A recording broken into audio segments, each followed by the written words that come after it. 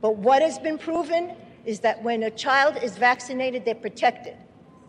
So here's something right from the insert again. Specific levels of antibody titers post-vaccination, post-vaccination with inactivated influenza vaccine have not been correlated with protection from the influenza virus, have not been correlated. They are saying in the insert that there is no proof that the flu vaccine helps you to not get the flu. What has been proven? They are saying in the insert that there is no proof that the flu vaccine helps you to not get the flu.